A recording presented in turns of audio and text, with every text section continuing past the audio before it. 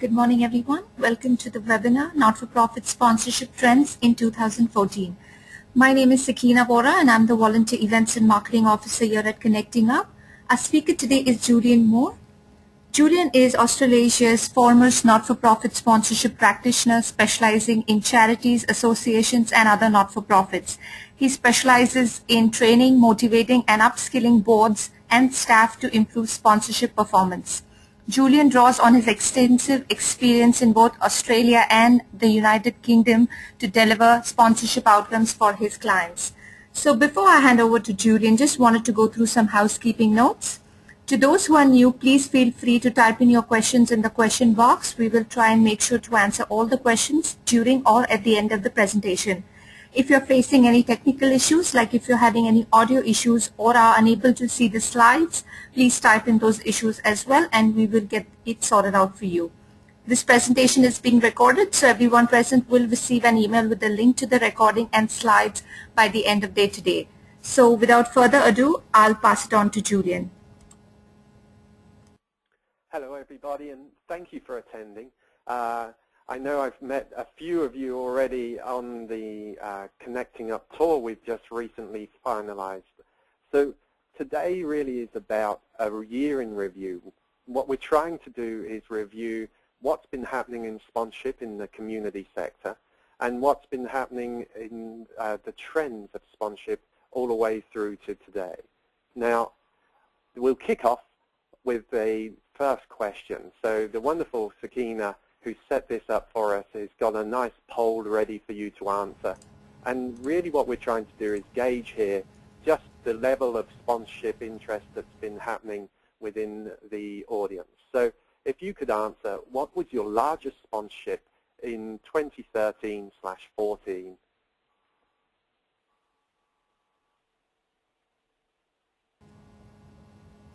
Yes, uh, we have and about Sakina, 50. has that poll gone out? Oh yes, it has. Uh, we have about 60% who has already uh, voted.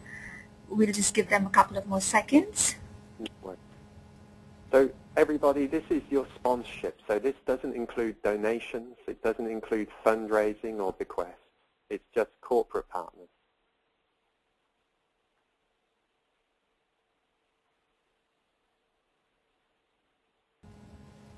And this poll really, the idea of this is just to give us a wonderful sort of uh, guide on what the levels are people receiving. Okay, so uh, I'll close the poll and here are the results. About 50% have voted between 0 to 5,000. 30% have voted between 5,000 and 20,000. 10% from 20,000 to 50,000 and 5% each for 50 to 100,000 and 100,000 to 500,000. That's wonderful. That's that's about the same as what's been happening with uh, the tour itself. So what we're finding is predominantly people are undervaluing what they're able to offer to the corporate partners. Now, the reason we're seeing this, it seems to be a case that when we're asking for a value, what we're putting in the cost of implementation rather than the value to the partner. So what we're doing is we're considering if it costs us 10,000 to implement, we're asking a 20,000 ask. Whereas what we should be doing is evaluating how much the partner makes uh, in profit from this partnership and valuing that way. The reason I've started with this is when I come in to work with a client, it, predominantly the lowest amount I've asked in the last six years is $40,000. And 0 to 5,000 can actually cause some challenges in servicing. Asking 0 to 5 means that it's going to be, uh, in some cases, cost prohibitive to deliver the services you want to deliver to the partner. So it's good to kick off and understand uh, the valuation of these. So in the NFP sectors, what are hot right now? I have to say, health and chronic illness is becoming really front of mind at the moment. We're seeing diabetes, asthma, we're seeing all these chronic illness, and on the health side of things, we're now seeing people like Blackmores and uh, Swiss really stepping up in the health sector. So complementary healthcare and chronic illness are really pushing ahead. It's the same with families, females, and school-age children. It's gone away from the uh, sporting, healthy, active lifestyle and moved much more into who can get hold of families, who can get hold of the mother, the children, and particularly uh, children, when we talk about them, we're talking of the uh, 12 to 18 year old range. Now, we're seeing many individuals looking to push there. All the tech companies are after the families. All the tech companies are after the school-age children. The health companies and the fitness and sport really come together. But we're seeing uh, quite a change in the agricultural department. We're seeing now that agriculture is being pushed primarily by the chemicals. So with the chemicals, this is uh, quite a change from what we've ever seen before. So when we talk about agriculture, we obviously are talking about the chemicals for pesticides and just so forth for the agriculture. But now we're also seeing chemicals come through much more into the uh, the family side. So you'll all remember just recently the Dulux advert where they painted the Surf Life Saving Clubs. We're now seeing Dulux looking for other people where they can paint these uh, really prominent buildings so that they stand out and they talk about how they're able to engage with the community that way. Endangered species, we're actually seeing them go from almost nothing, where nobody wanted to align with them, to organizations taking on an endangered species that aligns with their name. And travel and destinations, well, this really comes from the fact that uh, the airlines are now really beginning to re-engage. So with on not so much uh, Qantas, Qantas are only slowly, slowly stepping back into the market, but Air New Zealand, Cathay Pacific, the Emirates, and uh, the um, Singapore Airlines, they're really looking to engage with any events side of things who have a number of people to travel. So these sectors we're actually seeing really hot topics at the moment. Now, the common mistakes that we're finding that the people are making are we're engaging, so we're sending out these proposals, but then there's no follow-up phone calls. I have to say, at the moment, to get hold of the CEO or the brand director or marketing director, roughly you're going to make at least six to eight phone calls to get hold of these people. This isn't because they're ignoring you. This isn't because they uh, don't want to take your phone call. This is simply a case of their time poor. They travel a huge amount, and we're not the most priority for them. So what we have to do is leave one phone call a week, every week, to ask them just the case, have you seen my proposal and can we have a discussion? The failure to make phone calls is just everywhere, and I'm running into it every single client I have. So if you make those phone calls, you will get your responses. Generic offerings. I was sat with two or three corporates uh, a few weeks ago, and we had to read through their proposals of the people who were contacting them. Of the sort of two or three hundred that have been sent through to them, 80% plus all were just a generic document that had no tailoring. It never mentioned their company. It never mentioned them by first name. It was just a gold, silver, bronze.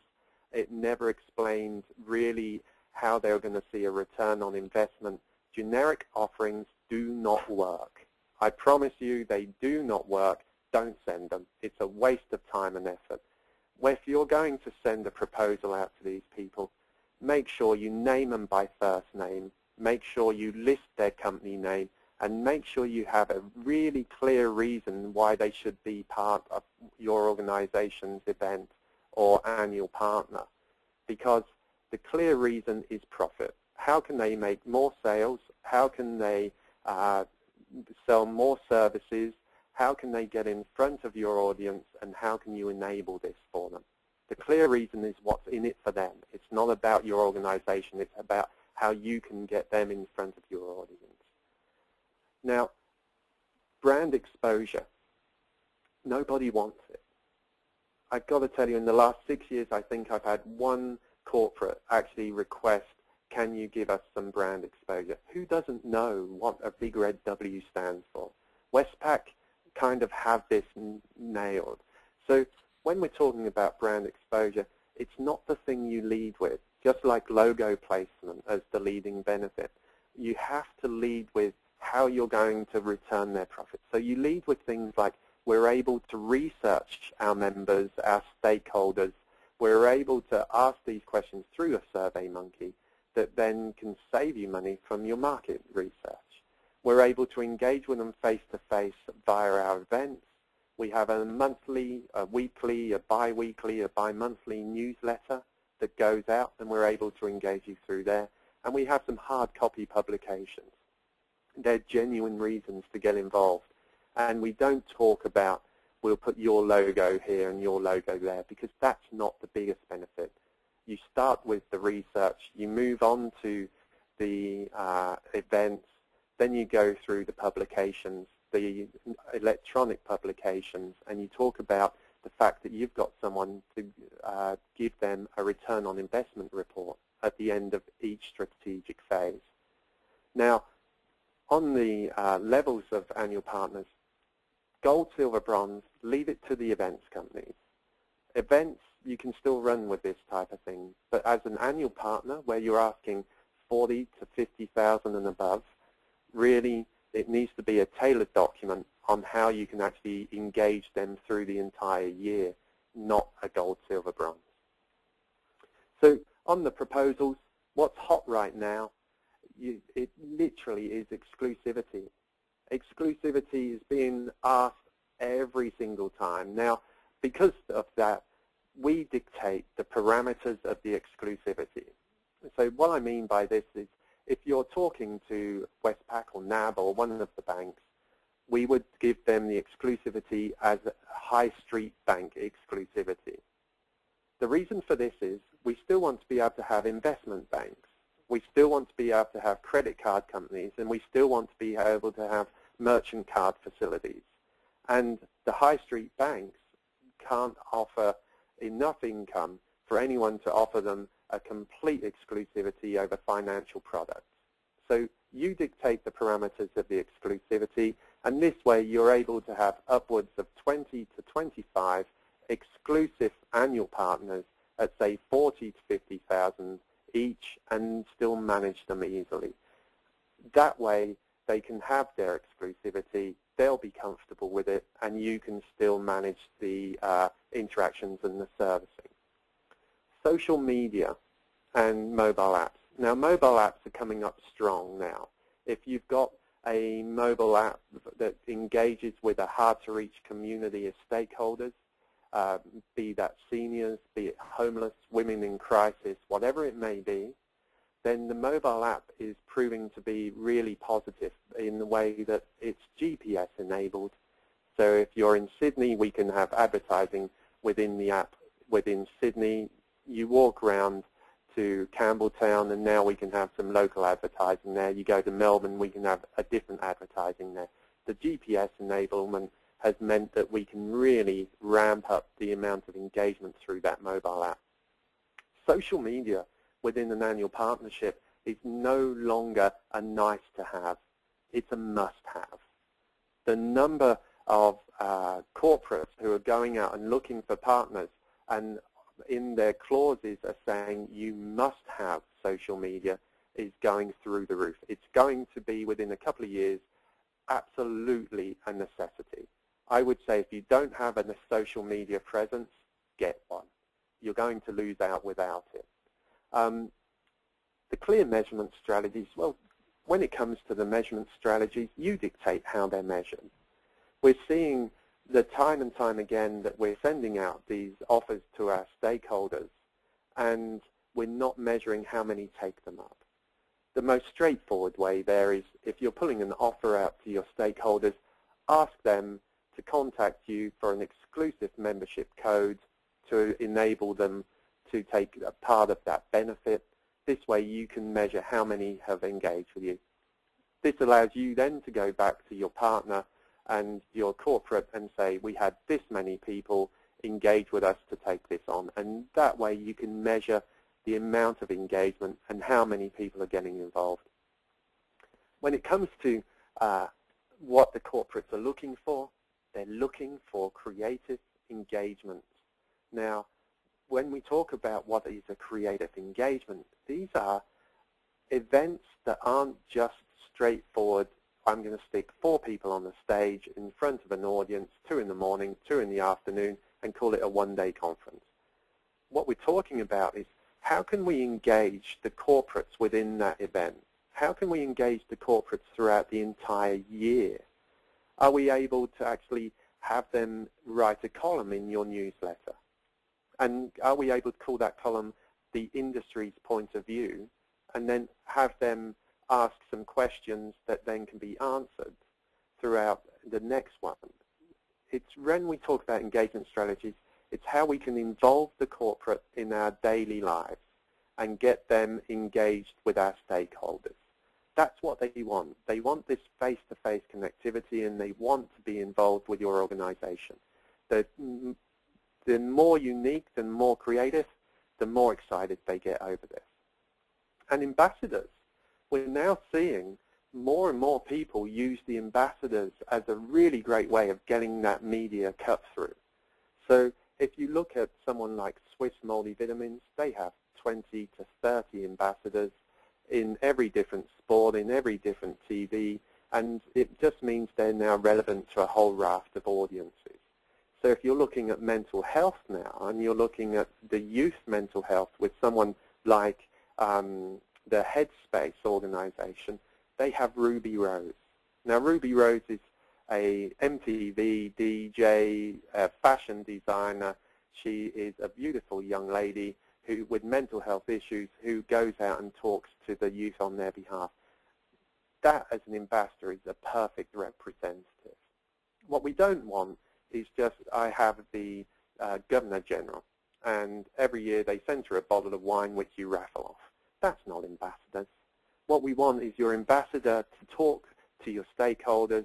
We want the ambassador to be relevant to your organization and we want them to be able to talk about your organization in circles that you don't talk in, in the media, in the radio, and wherever it may be. An ambassador is someone who goes out and champions your cause on your behalf, and they're really great for the not-for-profits.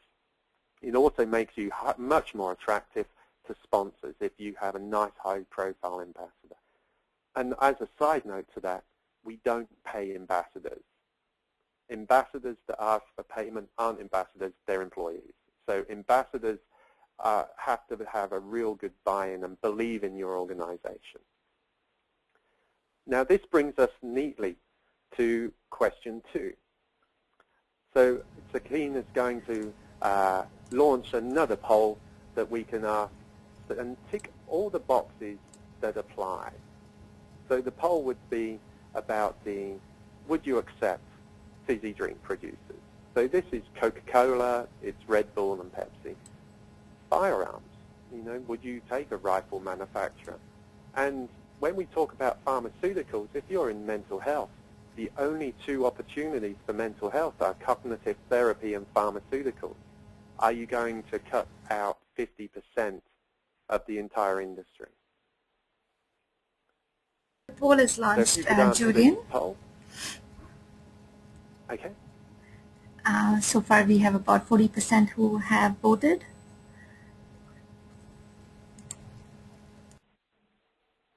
Okay, you are the 40%. We need you to answer these polls and not answer your emails instead. Gotta love webinars. It does mean that you can get two or three things done at once.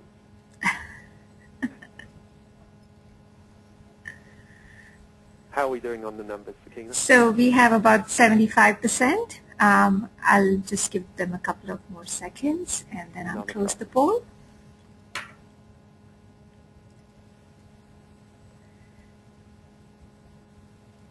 Okay.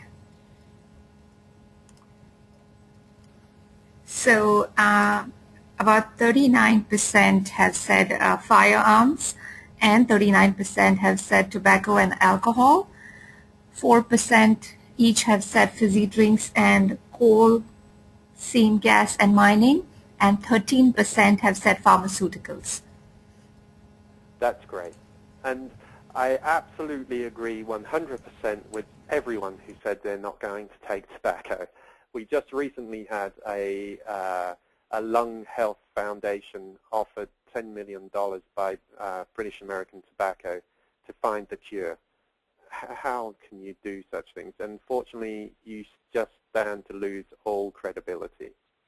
However, when it comes to firearms, we now have an environmental company using firearms in a pig cull. And that firearm is designed so that it's, it, even the, the firearm itself is called the Pig Buster rifle. When you have one million pigs living on Cape York, with only 19,000 humans living on Cape York, it means they're causing utter devastation. So for the first time, Browning and Winchester are now tools of the trade for the environmental side of uh, industry. And so they've come on to sponsor and support this pig cull that then saves the turtles from extinction. So what we must think about when we're working out who we accept on sponsorship, what will be the impact on our brand and how will it be perceived when in the outside side things. So I absolutely agree on tobacco. Pharmaceuticals, again, cognitive therapy, there is no sponsorship for cognitive therapy. When it comes to pharmaceuticals, there's a huge amount. And we have to balance out what we, how we take them on, especially with pharmaceuticals. I would say never take the product, but to take a brand is not so bad obviously sit down with everyone involved and work through uh, which is the best for your organization. So that brings us neatly on to who was spending in 2013 and who's carrying on into 2014. So on the air travel, I hope you got your pens handy. The, what I'm just going to do here is run through my experience of 2013 and what's now carrying through. So Qantas closed their books. The moment that uh, Mr. Joyce decided to go, okay, we can't do this and we need government assistance and so forth, they closed their books. They're just beginning to open again, so they will entertain some small things like if you're bringing some celebrity from overseas. Do you have the option of taking a group of 200 or more out of state, in fact, out of state over to New Zealand? Instead because if you do, Air New Zealand want to meet you. Now, the Emirates and Cathay Pacific are very different. Emirates Airline, they're looking to get involved in a range of things, mainly families and mainly healthy outdoor activities. Cathay Pacific, I think they're beginning to entertain almost anything, as long as it includes some element of outdoor travel Cathay Pacific really seem to be the big partners in this space at the moment. So do keep in mind Air New Zealand for moving people across there. So if you want uh, free travel to uh, uh, take people overseas, Air New Zealand's awesome. Emirates are looking for the families and Cathay Pacific are looking for the travel side of things. They're both wonderful to work with. I would avoid at all costs Tiger and Virgin, well, I've heard people have had good experience with them. I personally have never done that. So I can't talk from experience. It's from my side of things, I've never had a success uh, with Virgin. So be careful there. On the tech companies, Hewlett-Packard are looking now for big infrastructure builds. If you're looking at joining up states, if you're looking at joining up hospitals, if you're looking at joining up uh, centers in big infrastructure, Hewlett-Packard are the people. If you work rurally and in the rural communities in over a wide area, outside the metropolitan areas, Motorola wants to speak with you. Motorola have a new two-way radio that uh, they're bringing in as a low-cost option. However, they're not getting the cut-through they want. So they want to meet the rural engagement people in the outside areas there. So speak with Motorola. It's a beautiful product, and it's a, a nice price. So what they want to do is give you some of these so that you can uh, use them in your rural engagement, and they want to pay you some money and actually get you engaged on that side of things. Google are looking for big challenges. Do you have a big challenge? And by a big challenge, I'm talking driverless cars. I'm talking, uh, you know, internet in the reaches of the far deep whoop whoop. It's, you know, Google want a big challenge. And they want to do it if it's included with some sort of mapping. So GIS mapping, global map, the whole thing. That's what Google are after. Samsung and Asus, they're after the female youth market. Now, Samsung and Asus are after the female youth market, but the Samsung are after the uh, higher end of things. So the, uh, I guess, mobile technology, whereas Asus are after flat panels. Now, Apple, Apple just don't sponsor. Apple may do one or two engagements if you're the deaf community, because they're currently looking to engage there. But apart from that, you know, Apple really don't sponsor. On the electronics, what you'll find now is Sony and Bose are looking for uh, Bluetooth audio. So if you have outdoors, if you have, um, again, the family side of things, Sony and Bose. LG, Samsung, and Panasonic, big screen TVs. We've got the World Cup on now. We've got the uh, big Commonwealth Games coming up. LG, Samsung, Panasonic, all looking to get big screen technology into the family household or into public environments. So if you have theme parks, if you have uh, any public space where they can use signage, big screen technology. And JVC, they're looking for broadcast technology. Do you know anyone who wants to or has a requirement for video? So if you've got a youth engagement and the youth are looking to make video and they're looking to do all these different creative uh, sort of art side of things, JVC are the people to go to. They'll not only give you product, but they'll even support your marketing cause and then give you income as well. Coffee is a very new one, and one that I have to say I'm a, a proud user of. So Nespresso are looking to get in front of uh, office buildings. So rather than the home where they've already cracked that market, they're looking to now get into uh, offices and with their machines. So if you've got events, and rather than having a, a coffee company there, stick some, get Nespresso on board and let them just put 40 or 50 machines around your event, and everyone helps themselves. And then they run competitions where you can win one and take it home. They also spend money to help you promote those sort of events. Philips, again, is a machine manufacturer, so they're looking for the a higher end, where Nespresso is a few hundred bucks, Philips, you're talking a few thousand. So they're looking for the people who want their coffee ground, squashed, and delivered all by a machine. So they're looking for families, particularly mothers. Now, if you can access the mothers of any family, that's where Philips want to be. And when we're talking about your events again, Merlo and Vittoria, now, it's not going to be an income generator, but it will be a cost remover. What they'll do is they'll bring along their uh, coffee and they'll supply the beverages for your event so that you can have a coffee place. So if you have a exhibition and a quiet spot in your exhibition, stick someone like Merlo or Vittoria, and then suddenly it becomes a very busy area of your exhibition. And Breville, once again, they're nice mid-range uh, coffee manufacturer machines, and they're after the families. On the health. Now, this is an interesting one. When uh, health, and the first name on the health slide is Coca-Cola. I haven't gone mad.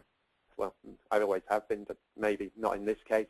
Um, when you look at health, think water for Coca-Cola. Australia is the first country in the world to hit the 50-50 split for water and fizzy pop. Now, you can't take Coca-Cola as an, a brand if you're looking at health.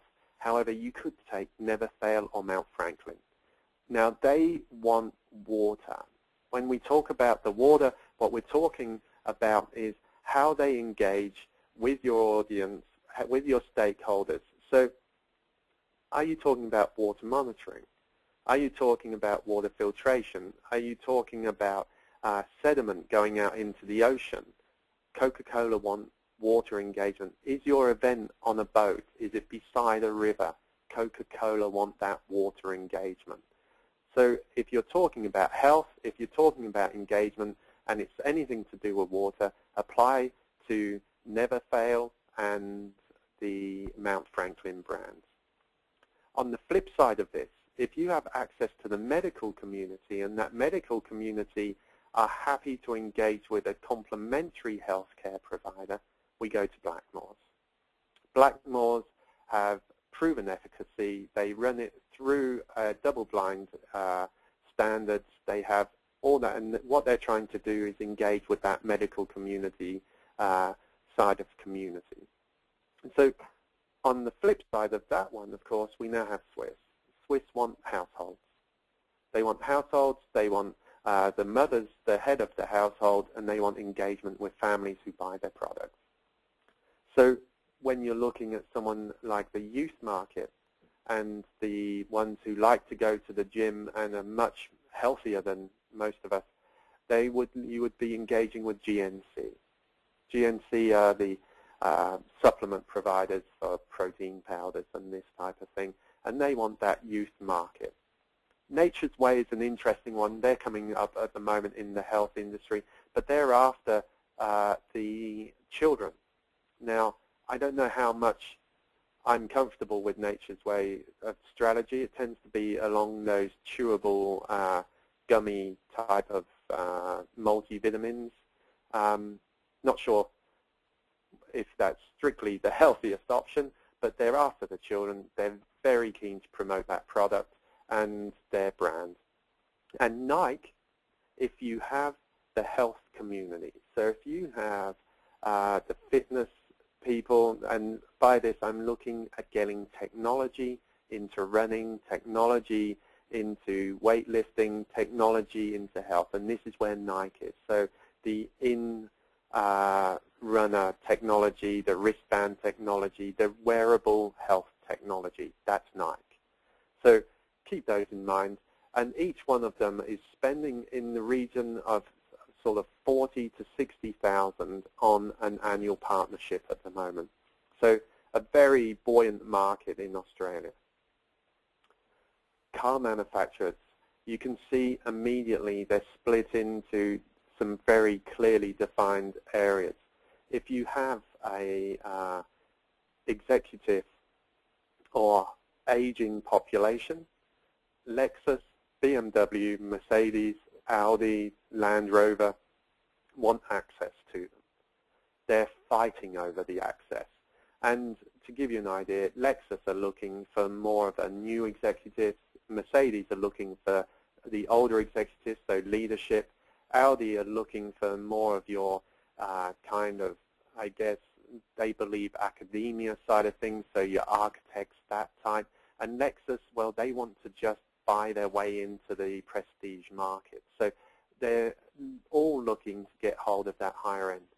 Whereas if you have um, new families, if you have schools, if you have education, what we should be looking at is Mitsubishi and Hyundai for their people carriers.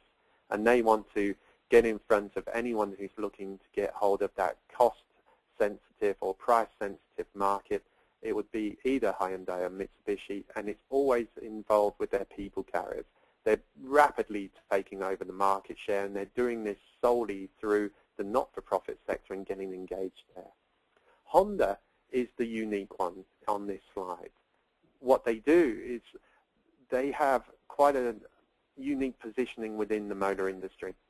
They not only have the cars, but they also have quad bikes. They also have marine engines. Then they have the uh, power uh, equipment, which is your hedge trimmers and your lawn mowers and this type of thing. So they have this wonderful range. So if you've got people going out onto the ocean, let's talk to Honda because they have the marine engines. If you've got people using quad bikes for rural engagement, let's talk to Honda because they're the biggest seller of those. And again, if you're using uh, anything to do with power equipment, Honda is relevant. Hard to engage with, very strict on how they engage.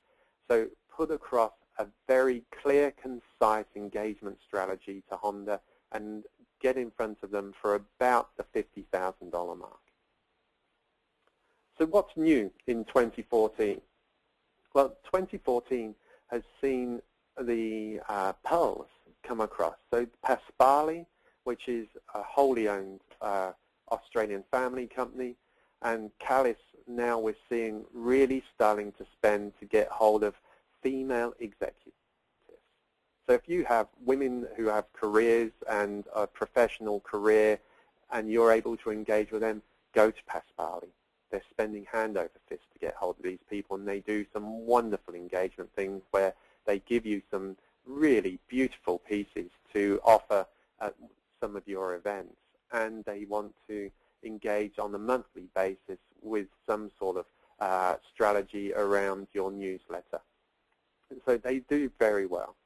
The watches, Chopard watches of Switzerland, the high-end watches market is now becoming really crowded. And we're seeing that the more names that come out, the more brands that come out are now just squeezing the margins. So you're seeing the higher ends of these watch manufacturers really push into new markets. And the way they're doing this is engage with the not-for-profits. So if you have uh, real estate agents, if you have um, senior citizens, if you have um, a clearly defined demographic like construction industry or so, there's a watch for that industry. Find out who it is, offer them the opportunity to engage with your stakeholders through a raft of ways, and watches are proving to be really uh, a good one at the moment. Champagne. We spoke about alcohol before. However, champagne are proving really interesting. It turns out that in the world, uh, Australia has the fastest growing consumption of champagne. So once again, we're drinking more booze than anyone else. And uh, with the champagne, they've latched onto this. So where once it was always Veuve and you know and uh, the kind of those sort of brands, what we now have is Laurent and Perrier, Pol Roger, the Cristal, and Mumm. They're all setting up marketing bureaus within Australia. Now, Laurent and Perrier, basically the way they work is they will take over all your food and beverage costs for your event. And the reason they do this is so that they can provide their champagne with matched food and it enhances their brand. Now this isn't going to make you much money, but what it will do is cost removal, so you don't pay for the food and beverage. But on top of this, it makes you get more bums on seats to your events. Because if you can be supported by the champagne brand, it will be a case of everyone who turns up gets a glass or two or three or four in some cases of this and they all go away having a wonderful experience. Laurent and Perrier brand now is growing faster than any brand of champagne in Australia simply because of their engagement with the not-for-profits. We're seeing them everywhere and they're really, really benefiting from getting in front of them. Now, the most common comments I get back from this is, our people don't drink champagne. I think you'll be surprised. I really do. I think you'll be surprised just how many people drink champagne. It's mind-blowing. Pol Roger, totally understand. Ultra high-end, but if you have CEOs of the not-for-profits coming together, go to Pol. And Mumm, well, they're looking for the outdoor lifestyle. So they have horse racing. If you have a sporting in, uh, industry, you go to Mumm. And firearms, because of their recent uh, success within the uh, not-for-profit area, within the environmental area, they're now out looking for their next people they would like to engage with. So if you have a pest issue that can only be resolved with a cull, then this is who you would go to. And firearms are looking to become that area. So in more rural communities, because most of them already have a firearms side of things, but if you have the ability, the income that you can generate from this is quite large. The uh, when you look at what we did in uh, North Queensland, you, are talking about six-figure sums here, and it's really interesting on just the experience they had to now wanting to re-engage with the not-for-profit community. So what are we seeing now? Exclusivity is everything. When you go out to these organizations, offer them what the term I like to use as industry exclusivity. They will be the exclusive partner for their industry. You set the parameters, clearly define those parameters. So if you talk about credit card, is it a uh, Visa or a MasterCard? Is it Diners Club? Is it American Express? And they'll have exclusivity within that credit card. They don't get exclusivity on the merchant facility. You can now approach someone extra for this. They don't get exclusivity for loyalty cards. There's someone else there. You set the parameters and you go forwards with them so they understand that you're able to take on other industries as well. Co-branding. I think this is going to be driven, it's early days, but I'm seeing more and more requests for co-branding. So if you take on a water manufacturer, are you able to have a label put on there that has their name plus your area? So for instance, if we were talking about a football club, and the football club has uh, Mount Franklin, are we then able to put the football club's logo onto the Mount Franklin bottle to co-brand that bottle so Mount Franklin is seen as a supporter of that club. Co-branding is a two-way split of an organization's income and it's proving to be really cost-effective for the partners and the corporates involved. And what we're seeing is it offsets some of their costs, so they're willing to actually in, put in more money because there's a three-way split go on. If you're able to bring on two partners for the same product, co-branding is the way to go. And inclusions, inclusions are a beautiful term. It, it basically means once they are now coming on as your partner, how are they then able to actually in, make themselves more attractive to your brand? Because what we need is a three-way split. You have to win. The sponsor has to pay you. They have to win. They have to get a return on investment. But what are we doing for our stakeholders? And our members? How, how do we uh, put something in there for them? So what's the inclusion that we'll put through and the benefit to our stakeholders? It's no good just exposing these brands and their products and their services to your stakeholders.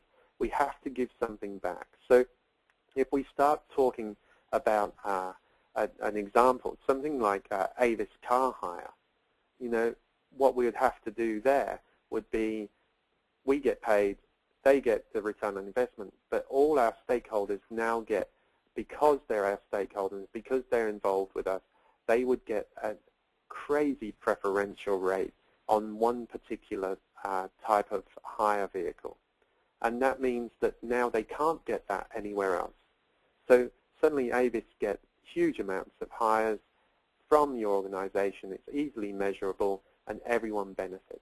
So make sure there's an inclusion for your stakeholders. You want that three-way win. You don't want just the, the two wins going on. Inclusions are becoming very, very important to actually get that engagement and get the measurability go through. So that brings us neatly to the 45-minute mark. And uh, is there anyone who has any questions? Thank you, Julian, for the presentation. Uh, we do have a couple of questions here. Uh, this first one is from Ray. what is the best way to research for different sponsors and who is looking to sponsor someone? Oh, it's a really tough question, Ray. The only reason I know this is because every uh, client I work with, we approach 40 sponsors, and of course we get 40 replies back. So I keep up to date on, almost on a daily basis of who wants what and how. The best way to research, I find, is to go to their annual, uh, or sorry, go to their website. At the bottom of the website uh, is to click uh, tiny lettering, and often colored the same as the background, but the word sitemap. When you click the word sitemap, what will happen is it will now change the entire website to a, a straightforward formatted structure, and you are looking for the annual reports. Now, the annual reports will be in the PDF format. So when you get the annual report, open it up and look for the term, well, the first term to look for is consolidation. If you find out they're in a consolidation year, they have no budget, you don't need to look any further. If they're in an expansion year, find out what they're expanding into with what products and what markets. Because they'll always list this because it's a report to the uh, stakeholders. Once you know what they're expanding with, what products and what services into what markets, it also it tends to be a nice rule of thumb that whatever the numbers they talk about, about 5% of that turnover will be allocated to marketing. So now you know the marketing spend that they're going to allocate to that expansion and that growth. The great thing about the annual reports is they also dictate who's going to head it up, and they give you the name of the person. So now you have the name of the person, the name of the company, and you have what they're expanding in and a rough idea of what they're spending on their marketing. So you go then to Google and you type in the company, then you go minus star dot star, you go space, quotation marks, the person's name, close quotations. And then you go space plus tel plus email, and that will return back all the information for that person within that organization. Now you'll have his direct dial telephone number and direct email address and now you can contact them directly with a proposal written around what they uh, stand to achieve from engaging with you specifically for their engagement strategy so that they're much more likely to partner with you on that expansion. So the best piece of advice is download the annual reports and have a read through. Great. Uh, this is going back to going back to the slide of which not-for-profit sectors are hot now. And here is a question from Stephen. Uh, how do the arts sector figure in this? What are the uh, trends, insights, etc.? I, I, I, now, the arts sector is a really challenging sector, Stephen. It really is. So what we have to do is we can't just use the broad arts. We have to know, are you video arts? Are you engaging in uh, the live performance? Is it then paying, what type of arts and what type of community are you accessing? So be very, very clear if you have, for instance, uh, a disabled community being involved in engagement with the arts, you lead with the fact that this is the community and this is what the arts are returning back to that community. It's not the arts sector you lead with. Arts really struggle in Australia, and I'm really, really struggle. So we have to lead with the community you're engaging within the arts. Then we have to describe what type of arts it is they're engaging with. And then we have to show clear outcomes of what it does for that community. Now, it's the community that you engage with and the outcomes that dictate who you would go for. So an example of that would be if we spoke about a disabled community engaging making videos uh, as a form of uh, video art. Now what we have is uh, the equipment a disabled community would require, lifts, wheelchairs, um, catheters, these types of things. And we also have the videography side of things, JVC, Panasonic, and Sony, to actually assist them on, and we should chuck Canon and Nikon in there as well, and GoPro. Um, and each of those, then we work out how much value they stand to make from this. So if it's a small community group of disabled getting involved in the arts, now what we're talking is maybe 15, 20 people engaging. Who's going to see the outcome? Who's going to see the video? Because suddenly your value has just gone up. So once again, I would be looking for about $40,000 a year for something like I just explained, and I would break that down to maybe two or three as a maximum partners. I hope that helps. I can't see the question, so I, I do apologize.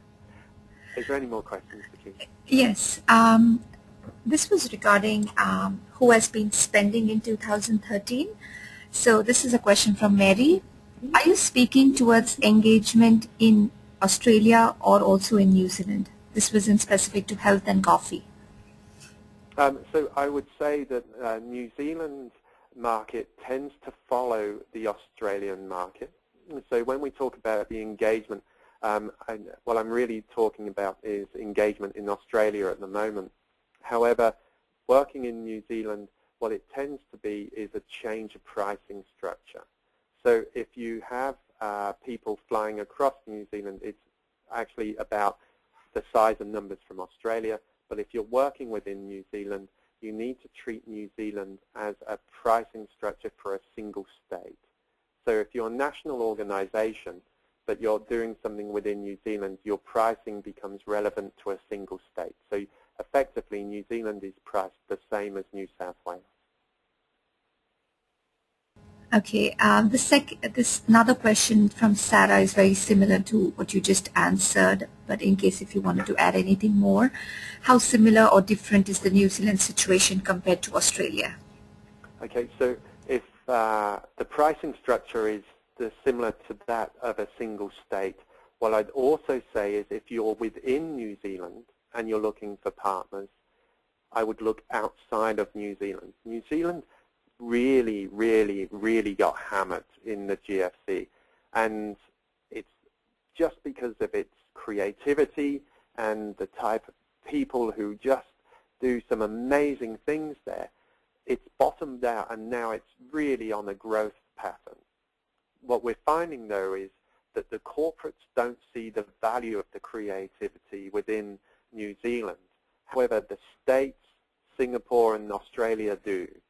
So if you're looking to access corporate partnership from within New Zealand, go outside and work out how you can engage an organization to bring them into New Zealand. So it's proven to be very effective and you can access a whole community within New Zealand and take and be a single channel to market. Um, for accessing the corporates within New Zealand, it's bloody difficult that's the truth. It's it's hard to do at the moment. Okay, another question here from Margot. We are a school PNC and we'd like to have a sponsor, but we are not sure what we'd have to offer them. We are a parent body of about 500 and we would like to gain sponsorship for our annual weekend working bee. Okay, so PNCs unfortunately have come in for a real battering in the media recently what with New South Wales uh, uh, being taken to court and disbanded and state government coming in and so forth. So unfortunately, you have a perception challenge going on with PNCs at the moment. So what I would say is the first thing we have to do as a PNC is reinsure corporates that they're engaging with a proactive group of people who are from a affluent school and they're looking to achieve a single outcome. And that outcome cannot be just to make money. The outcome must be work out what the school requires, get the school principals buy-in, and then work out if it's going to be a new climbing frame, if it's a new swimming pool, if it's whatever that purchase will be, and then walk the corporate through how you're going to engage the corporate with the school community in what strategies you're going to use the corporate branding, the corporate staff, the corporate products and services, and how you show a clear return on investment for that corporate through that uh, working bee uh, engagement. Now, then once you've got that face-to-face -face engagement now, what sort of marketing are you going to do for that corporate to the extended community? Because you're only going to get a certain amount of the parents and citizens involved in that working bee. What about the others that aren't getting involved? So how will you contact the remaining parents? How will you get some sort of offer to the remaining parents to get involved with that corporate? And then once that working bee is done, how will you then extend the life of this by interviewing people and returning the uh, stories out to the email communication? The strategy for a P&C must be longevity. So we talk about how we can uh, engage with the wider community up front to get them to come and take part in this working bee. Then we talk about what we do across the live face-to-face -face event. And then we talk about post-event strategies.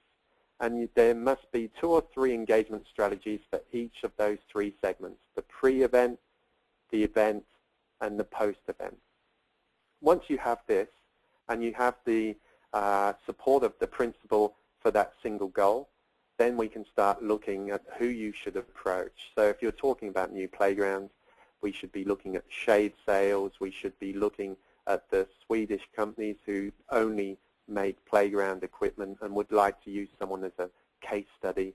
So that's the way to go for a P&C.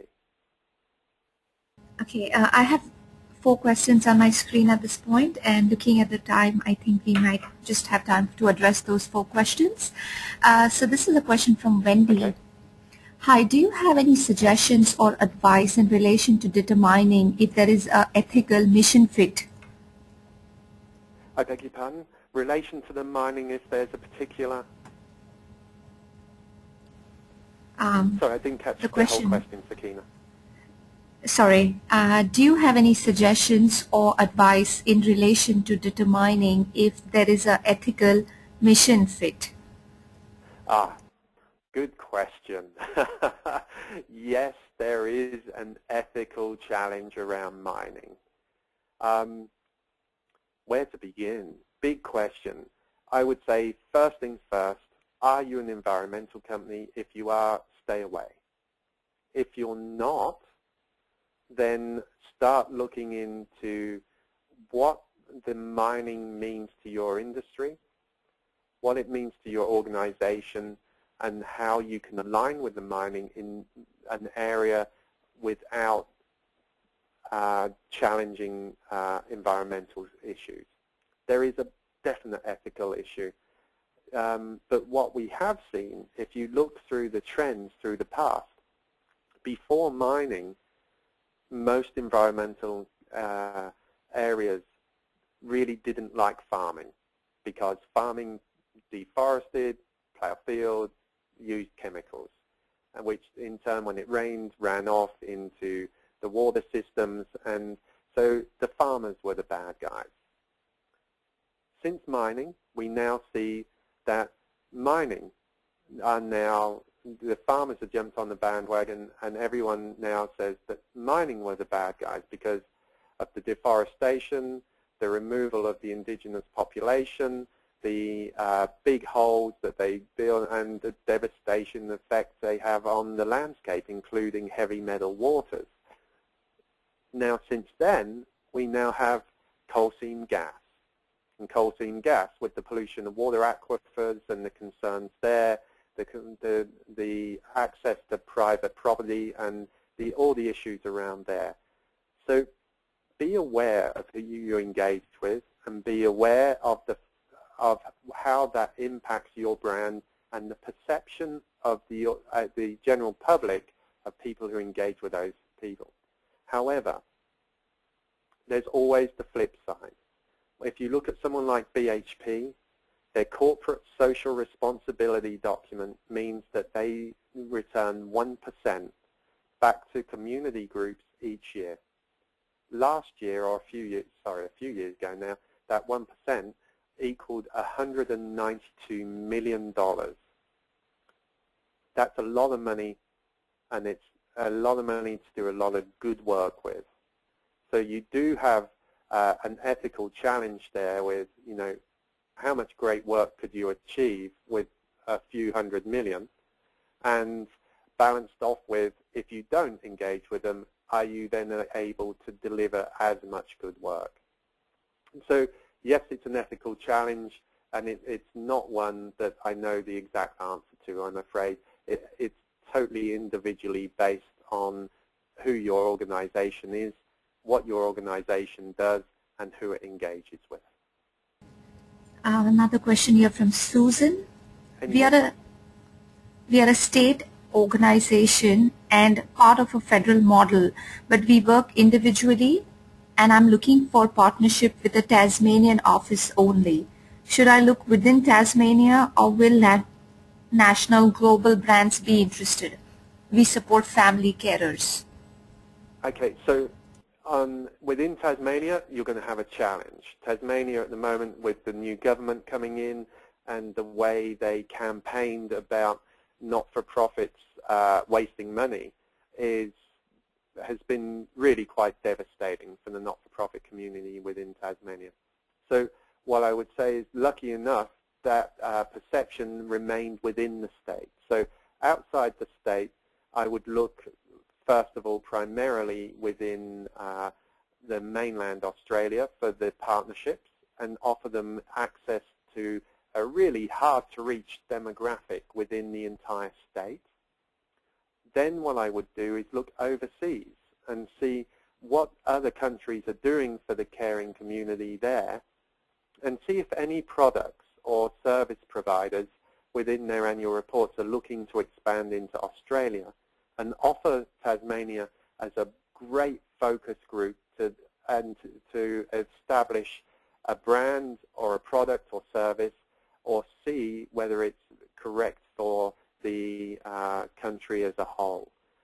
There would be the first two areas I would go as Tasmania. Uh, great, Julian. Uh, actually, that was our last question. Uh, besides that, we've we've been having a lot of requests uh, about the formula that you had that you mentioned previously, and also um, specifically what was the link to search the contact details via Google. So, uh, okay. would it be possible so if sorry if you could email that to me, and then I could include that in my follow-up email to everybody else? What we do have is a nice, easier way of doing this. So if you go to YouTube, and under YouTube, you type in Google Tips and Tricks. And under Google Tips and Tricks, you'll find a thing there by PC WizKids. And within there, they'll take you through, it's a five to seven minute video, and they'll walk you through step by step on how to find the individuals and how to use Google really effectively. It's a great skill to have, and it's one of those things that will really stand you in good grounding to find the individuals on the Internet. The other thing, of course, is utilize LinkedIn. LinkedIn is also a great resource, so you understand who you're, you're engaging with. But Google and uh, sorry, YouTube and Google tips and tricks. That's the way to go. Wonderful, Julian. I did uh, type that out so that it's gone out to the entire audience. Uh, Fantastic. Well, we are almost, uh, not almost, but we've uh, over time now. so any last few words from you, Julian? Um, be brave. Go out to 40 people with 40 tailored documents and follow them up until you have a yes or a no from each. By going out to 40 and being persistent, you'll get 12 meetings. Out of those 12 meetings, you'll win five to six partners. Persistence is key. And I would love to hear how everyone goes. So keep us all up to informed of your successes. And thank you for taking your time out today.